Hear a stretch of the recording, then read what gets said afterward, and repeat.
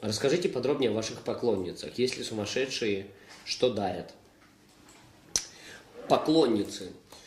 Поклонницы – это тоже все относительно. Поклонницы поклоняются, у нас есть слушатели.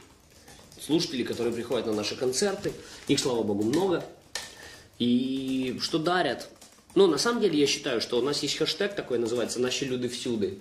Вот этот как раз то- только хэштег касается нашей аудитории, наших слушателей. Они очень э, об- особенные, они очень э, крутые, они не такие, как у всех. Наверное, каждый артист так говорит, но мне кажется, что реально у нас вообще совершенно сумасшедшие и крутые слушатели. Я их очень люблю.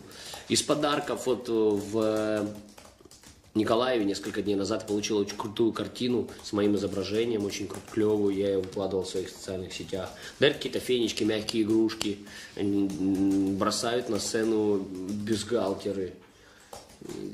Никита их коллекционирует. А что за хэштег Сири люди всюду? Сири люди всюду это хэштег тех людей, которые приезжали на э, этот на съемки клипа Крик. И после того, как они пообщались и побыли вместе, у них такой целый хэштег появился, целое движение, которое называется Сири люди всюду. Любите ли домашних животных, если у вас дома четвероногий друг?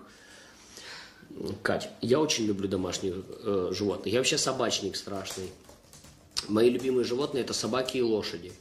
И э, прям я, я- ну не все собаки, если я маленьких собак не люблю. Вот прям не знаю, вот я имею в виду там чихуахуа, йорков и так далее. Они классные, все окей, но мне, да, мне нравятся большие, мне нравятся лабрадоры, мне нравятся овчарки, мне нравятся доги, мне нравятся доберман-пинчеры, мне нравятся э, стафы, мне нравятся питбули, мне нравятся бультерьеры, мне нравится ирландский сеттер, мне нравится английский сеттер. Э, Короче, мне очень нравятся большие собаки. Мне нрав- Блин, я фанат английских бульдогов, когда он вот этот, знаешь, слюни. Или французских бульдогов. Но я не могу иметь собаку. У ну, короче, по определенным причинам. Не могу и все. У меня был лабрадор, с которым мне пришлось расстаться из-за определенных обстоятельств. Я очень сильно горевал, потому что мы провели отличные 7 лет вместе с ним. Э, 7 лет соврал, 4 года. Вот. Э, В общем. Но вчера я подарил дочке рыбку. Маленького петушка вот такого. Мне кажется, что у ребенка должен быть друг. И когда я спросил, как ее будут звать, она сказала дядя Ваня. Почему, я не могу объяснить. Но у моей дочки есть рыбка, ее зовут дядя Ваня.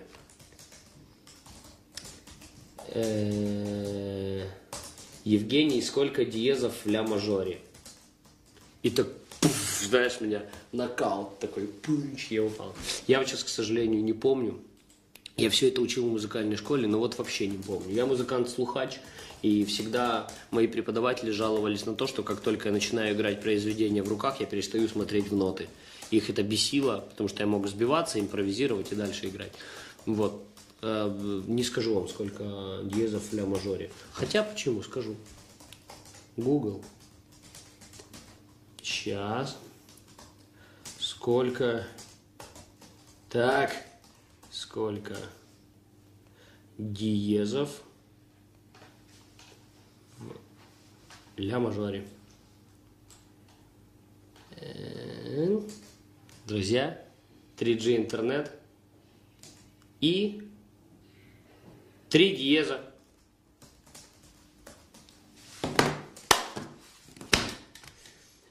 А, А, неудачи вас выбивают из колеи или, напротив, э, мобилизируют. Неудачи меня, наоборот, подстегивают и делают лучше. Все, что нас не убивает, делает нас сильней. В любом случае. Чем больше ты падал, пропускал, тем менее ты уязвим, потому что ты знаешь, откуда может быть следующий удар. Мне кажется, что неудачи должны делать человека сильнее. Какие условия считаете идеальными для творчества? Тишину, спокойствие, ночь. Мне так комфортнее писать. Как относитесь к сплетням о себе? По-разному. Бывает очень болезненно и хочется дать в рожу человеку, который распускает такие сплетни. Э, А иногда мне плевать. Так, в большинстве случаев мне плевать, просто на некоторые прям реагирую как-то особо болезненно. О чем мечтаете? О сыне, о студии в подвале своего дома, э, о том, чтобы больше времени прожить вместе со своими родителями и родными. Э, Мечтаю собирать стадионы по всей стране и в разных странах. Мечтаю, чтобы никогда не было войны ни в каких государствах, и люди наконец-то нашли для себя какие-то новые формы счастья, а не только богатство и власть. Мечтаю о том, чтобы э, язык на клавиатуре переключался одной кнопкой, а не несколькими.